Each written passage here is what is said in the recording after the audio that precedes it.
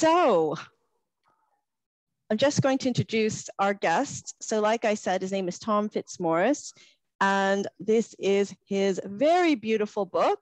It is his debut novel, which um, I'm currently reading and I'm loving. I don't want to put it down. Uh, so it's called Canned Coffee, and Kimonos, a memoir of four years living and teaching in Japan. So the blurb's there, but I'll just tell you a bit about it. So this is Tom Fitzmaurice's memoir of the four years he spent living and teaching in Tokyo, the biggest city on earth. A young man from England's rural, rural West Country, he was thrust into a new world for which he was completely unprepared and which he found utterly bewildering. Tom gives an insight into the life of an English teacher in this most fascinating of countries and how he found his feet teaching students aged 2 to 91. From sitting in a robot restaurant watching a giant metal triceratops firing multicolored laser beams to the quietude of secluded and ancient mountaintop shrines on remote Japanese islands, this is a story of coming of age in a beguiling metropolis of culture, shock, faux pas, joy, hilarity, horror, and the steepest of learning curves. Earthquakes, hedgehog cafes, bathing with the Yakuza, love hotels, typhoons, geisha, nuclear fallout, fascists, festivals, temples, bullet trains, karaoke, samurai swords, sushi, and sumo. This memoir, memoir has it all. How exciting and that was very difficult to read out loud. but yes, very exciting. Um, so I'll, I'll start with um, just letting Tom, you know, tell us, tell us, you know, why Japan? How did you find yourself there?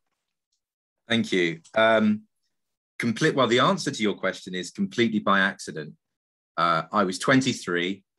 Um, I I was yeah a young 23 year old man living in Wiltshire uh, having finished university not long before. And I was in search of, of some adventure, really. Uh, I wanted to do something exciting in uh, a, a, far a far flung place. And I'd initially set my heart on, I thought China might be a good place to go. It sounded very exciting, very different. And uh, I turned up for the interview in London and uh, I was successful. And the chap who was interviewing me said, Well, look, you know, our language school, we have branches in China, Taiwan, Japan, Poland, all over the place. And uh, he said, Where would you like to go? And I said, China. And he said, Well, I just want to say, he said, I taught in Japan and Vietnam um, and Taiwan and China. And he said, I actually enjoyed Japan the most. And I said, Oh, really? Um, and I took back my application form off him crossed out the word China and thought, well, that's as good a, a recommendation as any. Wrote the word Japan, and then three weeks later, I was uh, I was living in Tokyo. That's amazing. Yeah, I was I was surprised at how quickly it all happened. It did, yeah, really quickly. That was quite quite a whirlwind sort of shock, really. Yeah, it's very very brave. yeah, well, I don't know if it's brave. I think it's just more the case that I would trick myself into. I, I think I'm a bit like this. I force myself to do things and then deal with the consequences later because you don't really have to be brave until you you land at the airport in Japan. You think, oh right, I, am actually doing this, you know. So uh, that that's the sort of way I kind of overcome my fears, I suppose. Okay, you don't think about it till you get there, and then and then it hits you. yeah, I kind of just bank on the fact that I'm going to at some point develop the courage at the time and hope that I do. Oh, that's a, that's amazing. And so tell us about, you know, tell us about your your first impressions of Japan.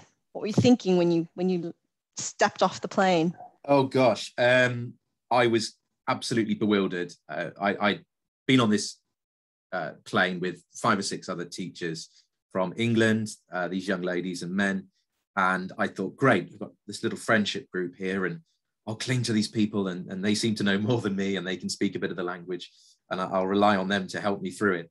And then we got through to the arrivals lounge in uh, the airport in Tokyo, and they said, "Oh right, you know, this is Mike. Right, Mike, you're going to this part of Japan, and oh, what's your name, Laura? Right, Laura, you're going to Osaka or whatever."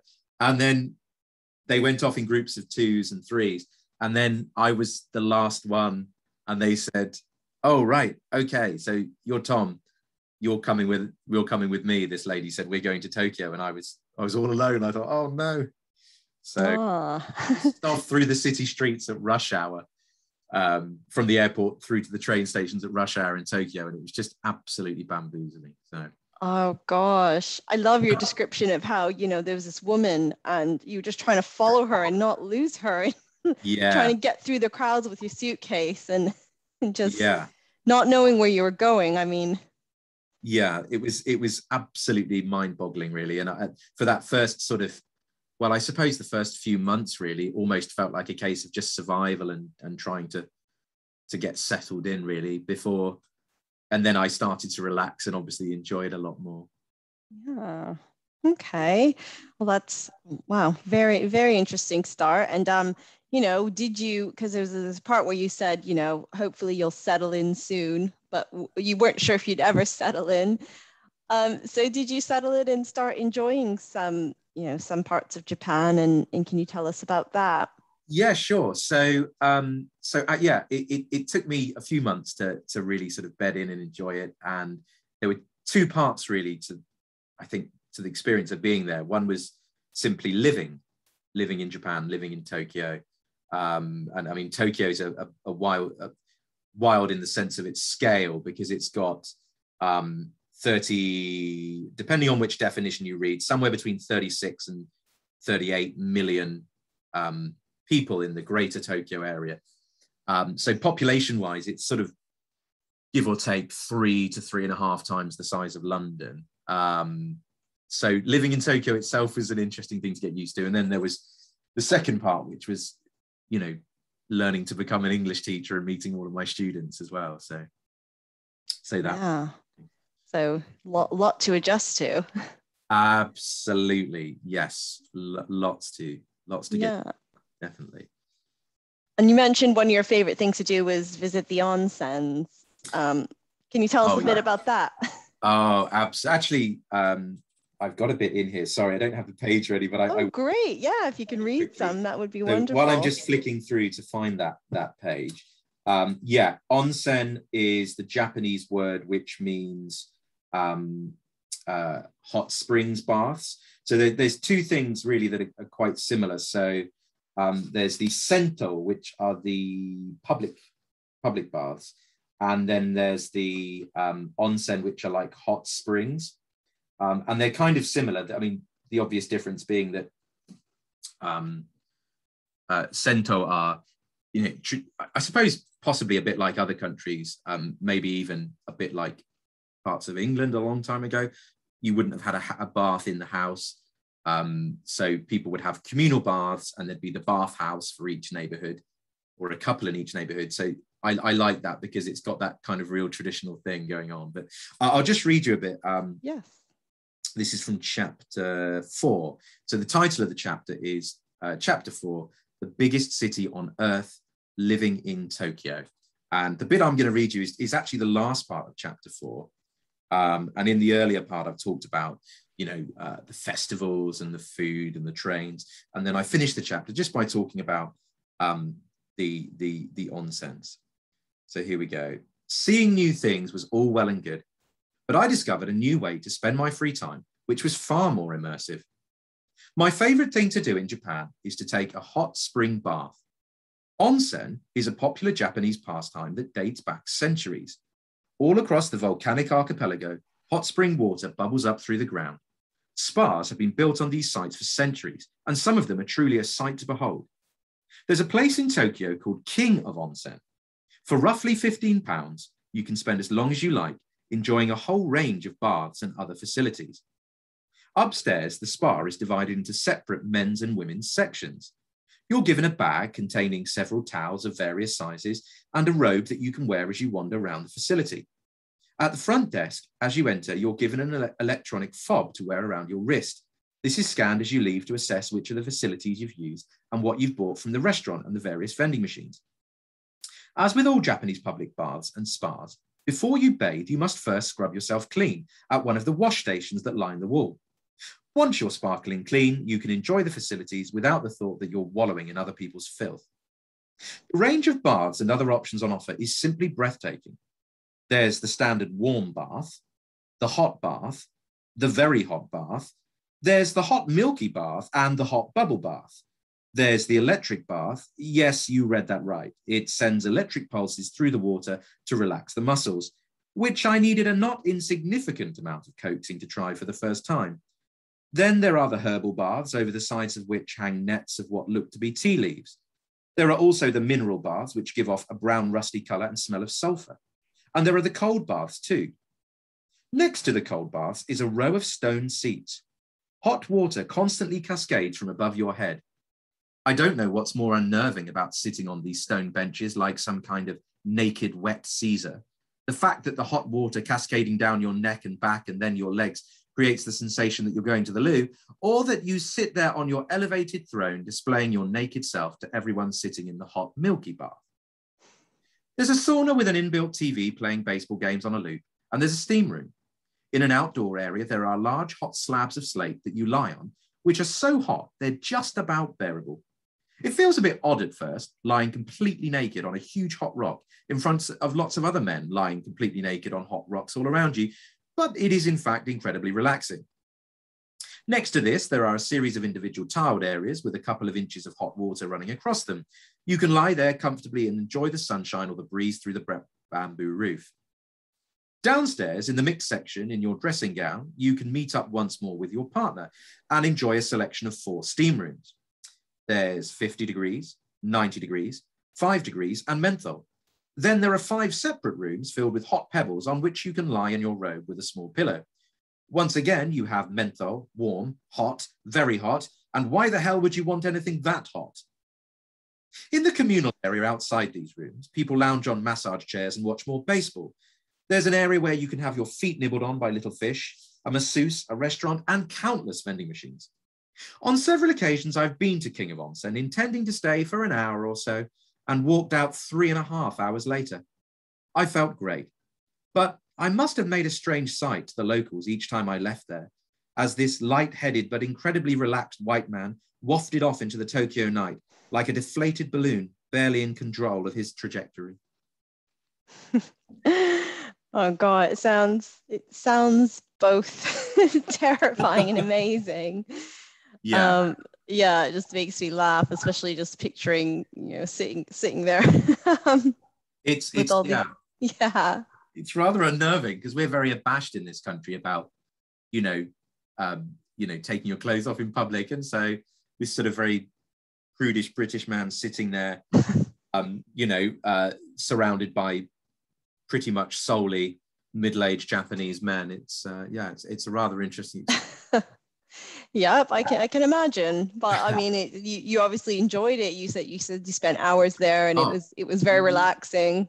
Loved it. I it, if somebody said to me, "What you know, pick one thing that I like most about Japan," I mean, a close second would be the food, but I love the hot springs. It's so relaxing. Ah, good tip. Good to know. um, so, it's a, would you say it's a must do while in Japan? Absolutely, absolutely. Um, and the great thing is they are everywhere. So, um, even a lot of the hotels you stay at, they will have like a hot springs complex.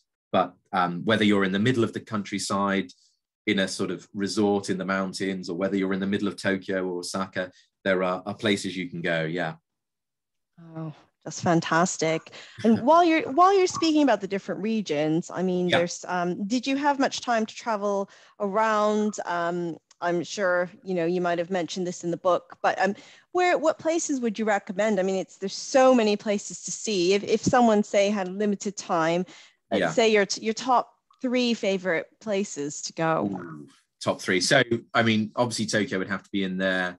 Um, Kyoto. I I mean, Kyoto is um, I, I, don't know. Kyoto is to Japan what, say, Florence or Venice is to Italy. Um, it's or Barcelona is to Spain. It's the sort of cultural um, or the historic uh, hub of Japan. So if you're after, you know, you can see geisha walking in their wooden clogs in their kimono down old cobbled streets. You've got your built your old wooden buildings, your paper lantern streets, your little streams, and your vermilion bridges.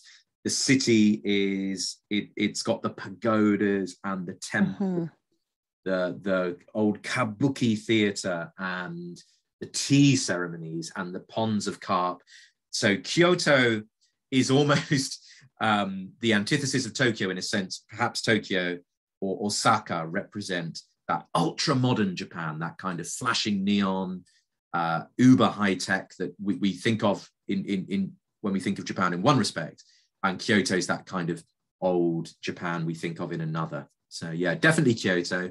Um, but I mean, funnily enough, it, it's you know even though Kyoto is very old, well, worldy, um, it is still quite a big city. You know, it, it's still the size of by population like Birmingham, but it's still got that historic nature. So definitely Kyoto, um, and I'm quite a fan of um, Shikoku, which is one of the four islands. Um, it's the smallest of the four islands, and um, I write about in the book. There's this hidden valley, which was virtually inaccessible until the 20th century, called the Iya Valley um, and it is just breathtaking.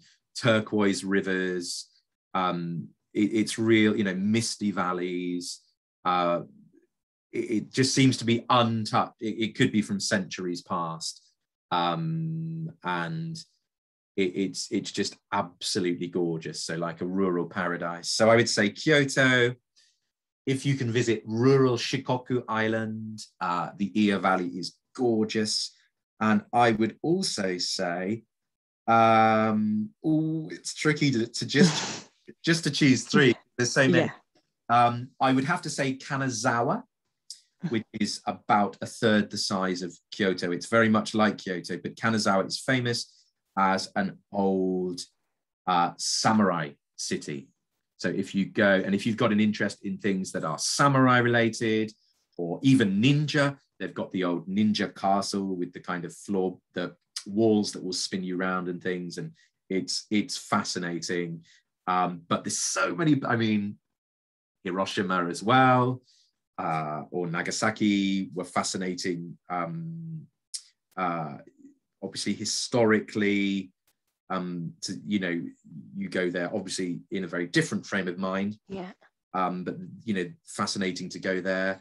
And the, I, I, I don't want to harp on and on because I could just go on for hours, but we'll also say the North as well, because it is often deemed in Japan that uh, the true kind of wild or untrammeled or, or the last frontier is really the north of Japan. Um, so, you know, those northern prefectures, um, Aomori, Akita, Iwate, and then the far north island of Hokkaido. So you have some you know bear you you can you can come across bears in the forest it's really as wild as say i don't know um, perhaps we don't have anywhere in britain quite that wild too many places to choose from oh wow it sounds amazing i mean i've been a couple times and i feel like i haven't scratched the surface after hearing yeah. you speak about all these places yeah you um, could you could live there for 10 years and still not scratch the surface so Oh, I can imagine. Oh, yeah. well, it's definitely, um, you know, the old saying, something for everyone. But I definitely yeah. think it's it's one of those places where you can go and just, you know, have something there for for everyone's um, style of travel. Definitely. Um, wow. Um, how lucky were you to live there for four years? That's that's amazing. Yeah. Very lucky indeed. Yeah. Yeah. Um, so yeah, I just wanted to um, delve into a bit about why you wrote this book or what what got oh. you started what made you write this book mm. sorry just taking a gulp of tea oh no problem um i uh, it sounds odd because a lot of the answers to my questions are going to be i didn't intend to do this or this wasn't supposed to but you know um last spring late spring. So we're talking april may last year. Obviously the world situation was uh changing very quickly um, with with lockdown, uh, um, and and I had suddenly a certain amount of free time on my hands. Um, I'm I'm a I'm a, a, a supply a primary school supply teacher, and obviously primary schools were closed for several months uh, in the UK and elsewhere. And I decided that it would be nice because I've got a really bad memory my mum had been talking about writing stuff down because she said, when I'm gone, I want you to know some of the stuff about my childhood. And if I don't write it down, uh, you know, I'll forget to tell you, etc., etc. And I thought, well, I thought of myself and I thought, well, I'm starting to forget because it had been 10 or nine years then since I left Japan. I thought, I'm starting to forget some of the interesting or funny things that happened to me. And so she'd kind of inspired me. I thought, well, I'm going to write down what I did in Japan because I'll do it while it's still relatively fresh. And when I'm old, um, you know, people's, you know, my nieces or nephews um, will be able to read about the things that I did. And I didn't intend to make a book out of it. It was for me to read for posterity or for members of my family to read it. Um, and then I started writing it. And I got to a certain point. I thought, do you know, will other people find this funny? I think it's quite funny, or or this is quite interesting. And then the idea started to germinate. Could I actually make a book out of this?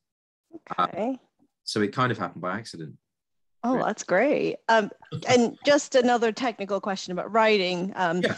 So, um, did you find that you changed your style of writing at all when when you switched in your mind from writing it for yourself to writing it for an audience? Definitely, definitely. Yeah. Because, and I mean, even in something as subtle as the idea that, you know, I might allude to something, but I'd always know the innermost details of it. Well, your audience won't. So so you really have to flesh it out. Um, but you know but that said i didn't you know that said i didn't write it in a manner in which i thought this will come across well. I wrote it as if i was down the pub telling a mate. Um, so because I, I kind of think you should write the way you speak or the way you think. Mm-hmm. i'm sure a lot of writers who are much more experience than me might say rubbish but that i don't know that that strikes me as being true and, and and for the reason that when i read people read other people's memoirs you know whether it's an explorer or i like reading books that are that are written in the style of that kind of spoken or, or, or in a style of thought do you know what i mean yeah, yeah, I do know what you mean. And one of my favorites, Bill Bryson, he he writes like that. um, yeah. I don't know who inspires you in terms of travel writing.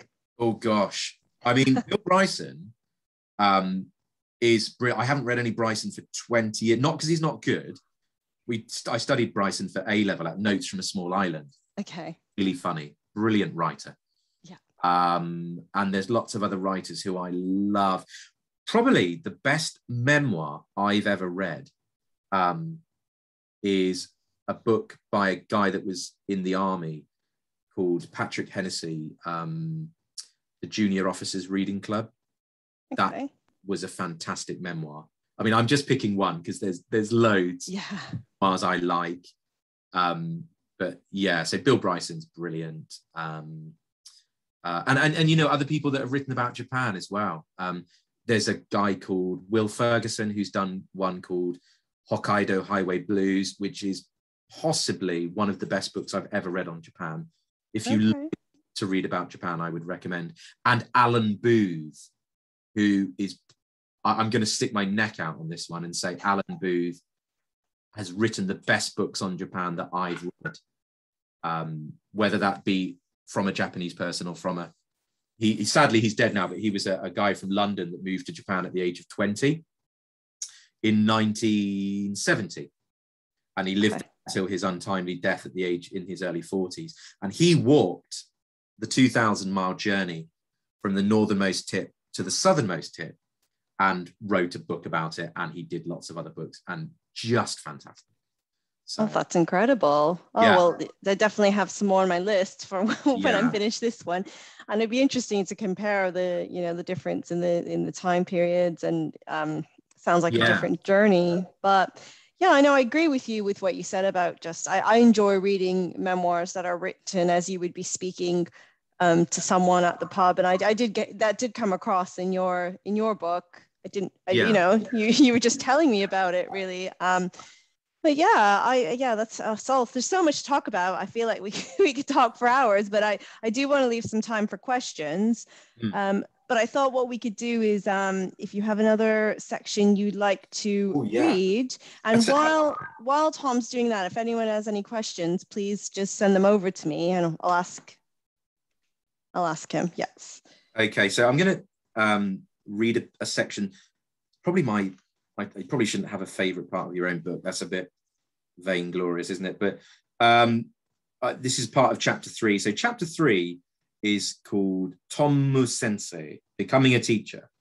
And it's about the teaching side of things, because obviously I write about Japan, but I also do write about, you know, what it's like to be a, a teacher in Japan. So this is um, a little extract that just shows how I got used to, to the, the work routine. The school day usually lasted from 12 p.m. to 9 p.m. or 10 p.m. And so I got used to getting up late and going to bed late. Our lessons were often back to back. It was hard to go in the space of five minutes from dancing around the room like a kangaroo, throwing beach balls and playing run and touch the tiger, to teaching a 60 year old company executive. Heaven forbid we should need the loo because we barely had enough time to wave little Taro goodbye, peel the magnetic flashcards off the wall, hide the puppets, pack away the plastic fruit, and move the table back into the middle of the room before Mr. Sakamoto would walk, come walking in, briefcase in hand. You'd better have the CD for Market Leader Pre-Intermediate teed up in the right place for the listening activity where Paul tries to negotiate a deal with Ian, which your student wouldn't understand. And you'd spend precious minutes of the lesson rewinding to play yet again while the confused businessman asked loudly, What is Paul? The CD would inevitably jam, and it was at these moments of high tension as you desperately pressed the CD release button with sweaty fingers and one after the other blew, shook, and rubbed the CD with your tie to try and get the damn thing to work because Mr. Sakamoto was looking at his watch that you remembered now just how much you needed the loo. Once you'd spent the next half an hour establishing that Paul was just the name of one of the men speaking and not relevant to any of the questions on which the listening activities were based, Mr. Sakamoto would walk out happy in the knowledge that at least if he'd learned nothing else that lesson, he could use the verb to pour. Great, time for a wee, you'd think, your bladder fit to burst, and get to the toilet and find it occupied because Michiko was in there and she was your next student. And by the time she got out, you'd have no time yet again because Mr. Sakamoto and the great Paul debate had overrun by five minutes. Michiko is happy because her husband's gone away for a week on business and she doesn't really like him. And now she can watch that Korean drama she loves every night. And aren't you lovely? And have you found a nice Japanese girl yet? And aren't, isn't your face small? Oh, lovely. You've got the textbook out, but Michiko doesn't want you to open it because she'd rather she sat and cooed at you and talked about your mum and, oh, what's her name? And you're secretly delighted because you hadn't the time to plan the lesson. And you're far better at talking about your mum to old ladies who smile and nod and lean in to hear what you're saying than explaining that Paul is a name and not a marketing pitch. oh, wow. I was that that that's hilarious. Was that was that your first teaching experience did you um, say? It's it it's not uh, sort of taken from a specific day, but it's just a kind of mosaic of all, all the all the uh, early experiences because I, I, taught okay. it different schools, so I, have just kind of put it all into one. Really. Put, yeah. Oh, I'm sure you you have um, so many interesting stories.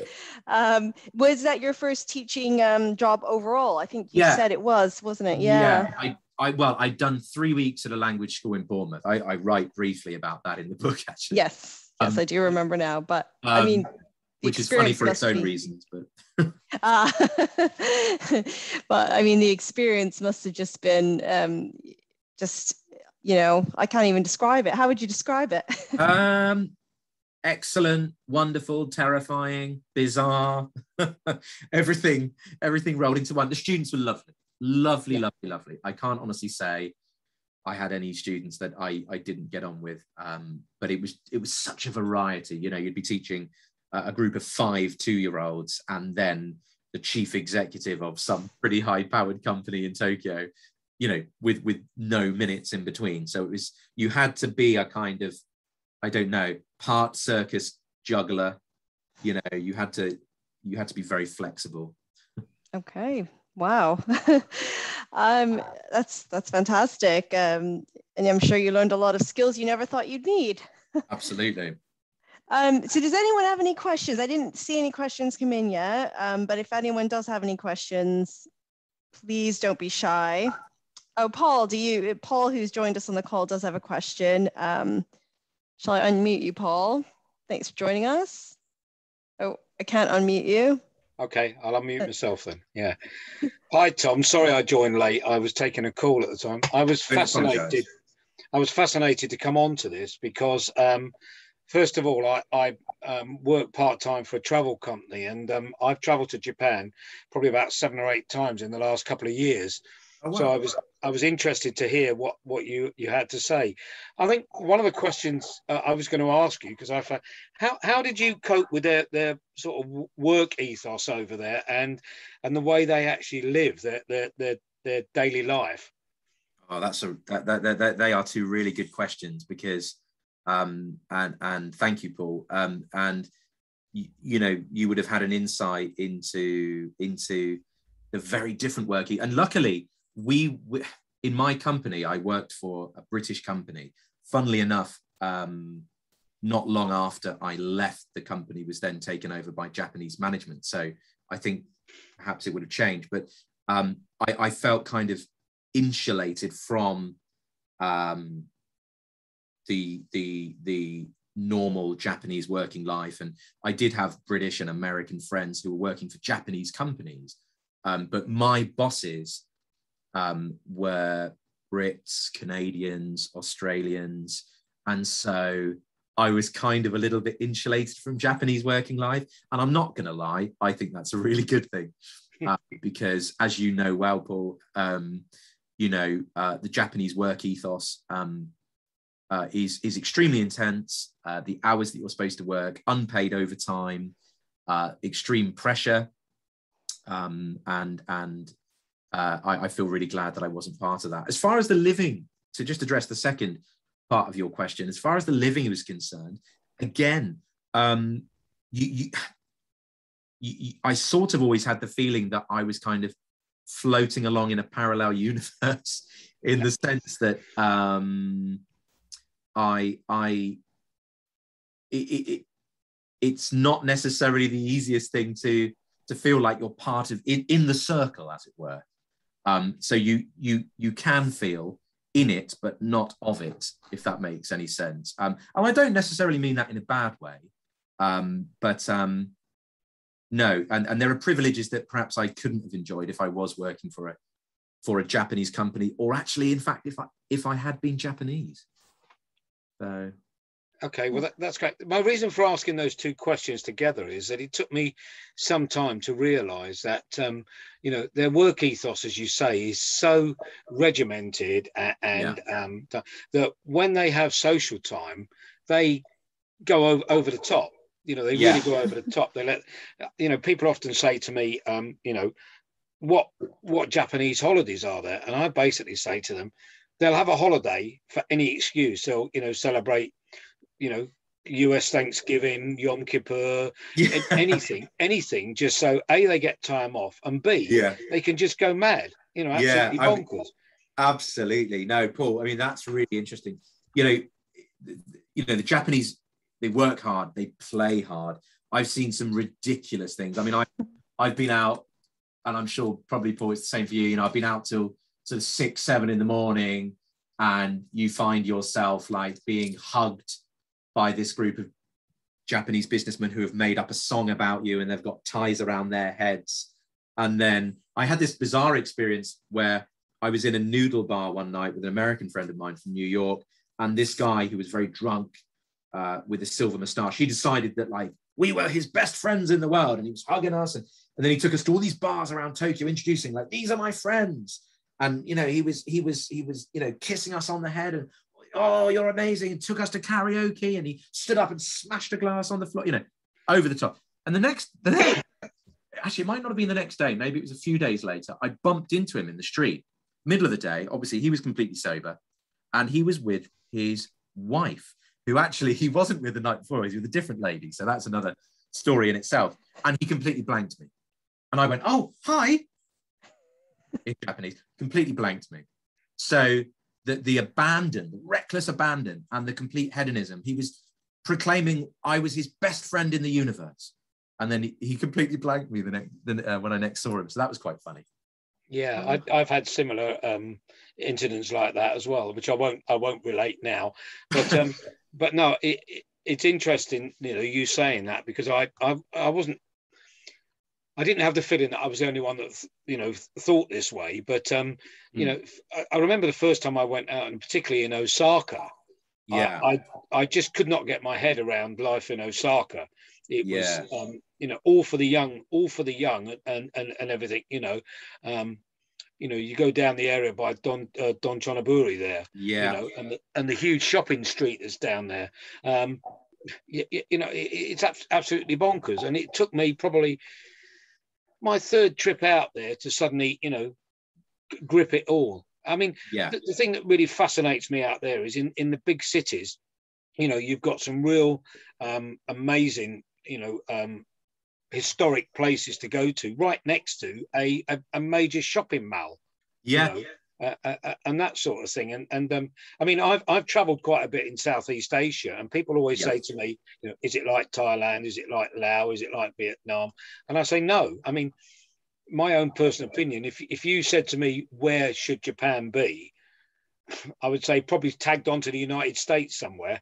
Yeah, I don't well, quite know where. that's know. really interesting you say that because I haven't actually travelled extensively in Asia, but you know, a lot of friends of mine, similar to you, who have say that Japan is this strange anomaly. And I talk about this in the book. I say, um, and with regards to Japan now, as you say, this odd mix, and but also with regards to Japan's history, and and you can't really look at a, a country without, you know, we're all formed by our history uh, for good and bad, and Japan is this very strange sort of, uh, you know, kind of Western, but not in the West, but sort of with many Western features, but then very not Western. You know, it's very, and it's a cliche to say it, but it's very Eastern, whatever that is, um, yeah. in regards. But but also, as you said, it's got a lot of Western influence, and it's.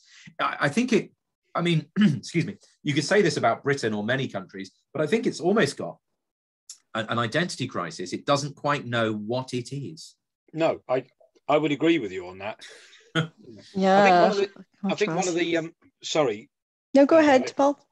I think one of the, the, the most strange things, but also wonderful things, was I was in uh, Hiroshima quite oh, a yeah. bit, and of course we went to the Peace Museum there, mm. and um, one of my um, things that I do is I'm a I'm a battlefield guide, so I was very interested in in, oh, right. in, in the dropping of the atomic bomb. And you will probably know this, and please correct yeah. me if I if I'm wrong. But the I, I, believe that the school children of Japan are not actually taught um, why the bomb was dropped. They they were taught that it was dropped and it was yeah. an appalling thing. It was absolutely um, you know a abhorrent. It never happen again. But it's all about reconciliation yeah, no, that, that's really interesting, Paul, and I, will I'll defer to your fast, you know, given given your your your job, I'll, I'll, defer to your far superior knowledge to this one, and I'll, I'll, put a disclaimer in saying that I'm definitely not an expert, but and I, I'm I'm a bit of a military geek. I love stuff like that. Um, as far as I'm aware, you are absolutely correct, um, and you know, having spoken to Japanese of, of a certain generation, that rings a hundred percent true uh, and I write a little bit about this in the book about how, you know, much as any country, our imaginations are, or I, our, our ideas of ourselves are formed from our histories. And, you know, you can have what I was taught at secondary school about the Pacific theatre of World War II, and it, it wouldn't tally very much with the Japanese educational experience. Now, um, you know, I, I, shan't go into the, the nitty gritty of why, you know, why that is, but no, I think you're definitely right. Um, and, and I think their, their way of teaching history is very different to ours. Yeah. Yeah, no, I I would totally agree on that. Yeah. Okay. I mean, yeah. I could, I could, I could talk to you for ages, but I'll shut up now. I, I think, I think you two need to set up a meeting. I'm sorry, I'll need, I'll need to wrap it up in a moment, but I think that, I mean, uh, that's a, another interesting conversation, and I love it. Um, yeah, no, that's. Cool. And I mean, there's so much in this book, and just you know, with your experiences and talking about Japan as a whole, and maybe we'll set up another talk sometime. But um, I'm happy to put you two in, in touch if that's okay, Tom. Yeah, that'd be great. Reminisce. I think Tom. I think Tom. Actually, you live in the same part of the UK as I do as well. I'm yeah, country. yeah, absolutely. I do. I do. Yeah. Oh, oh great. Perfect. No, it would be good to talk more on this. No, we and should. I'd love to. The book. Yeah. Brilliant. Yeah. Oh well, thank you so much, and thanks for that question, Paul. Um, Yeah. Great questions, and I wish I wish we did have more time to talk. Um, but I'm going to wrap it up now. I just want to ask Tom, you know, and I'll and I'll post the link to where people can buy this book. And someone on the chat says she's a few chapters in. Liv, she says she's a few chapters in and loving your book. Um, Oh, so that thank thank you. you. Yeah Very and um, yeah, it, it is a great book. I'm really enjoying it. Um, so please do um, have a look if you're interested. Like I said, I'll post the link. Um, so just quickly to end off, Tom, can you tell us what's next um, for you? Okay. Um, so I'm writing a novel at the moment, um, and uh, I won't give too many details away. But I, I've actually I've only ever written one novel before this, and it's I've never sought publication of that particular novel. But that I don't want to give too much away, but that novel that I have finished and may one day dare to stick it in front of a publisher's nose um, and beg is um, a novel that was set in Shikoku, actually, one of the islands I was telling you about those those misty valleys. So that's, but no, at the moment I'm writing a novel set um, around Salisbury, um, in uh, my dear old Wiltshire, um, and it's set in the 90s, which is an era that I pine for when I look at uh, the way we live today um, for various reasons. um, so yeah, so I'm writing a novel about a group of uh, teenage boys who are living um, in in a in, in a, a few little villages around Salisbury in the 90s, and they get themselves in a little spot of bother. Um, it's being enormous fun writing it because it's taking me back to when I was a teenager in the 90s, and um, I that's sort of why I decided to write it because they do say write about what you know. Um, and I thought, well, I've written about my experiences in Japan. What else do I know? Well, I know what it's like to grow up in the 90s in in, in Wiltshire.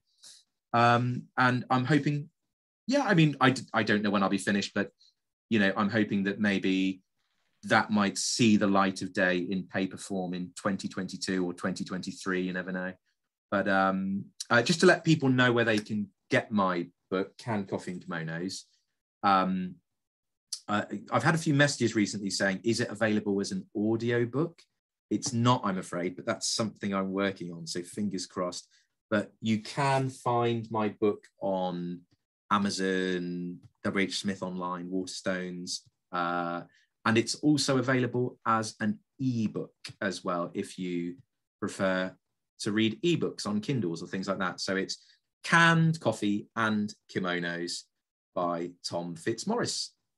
Oh, excellent. Thank you so much, Tom. I can't No, wait to read you. the rest. Um, and yeah, uh, look forward to hearing more about your upcoming works and your, your book set in Wiltshire. Um, but thanks for sharing that. It's fascinating. Like I said, we could have probably talked for hours tonight. Um, But if anyone wants to get in contact with Tom, um, hopefully that's okay, Tom, if they have any questions. Um, Absolutely. I'm always happy to speak. Great. I'll share your page as well, your your book Brilliant. page. And um, yeah, and thanks everyone for joining us this evening. Um, I hope you enjoyed it as much as I have. Um, and I look forward to speaking to you again, Tom. All right. Have a great evening, Thank you so everyone. Thank you. Okay, I've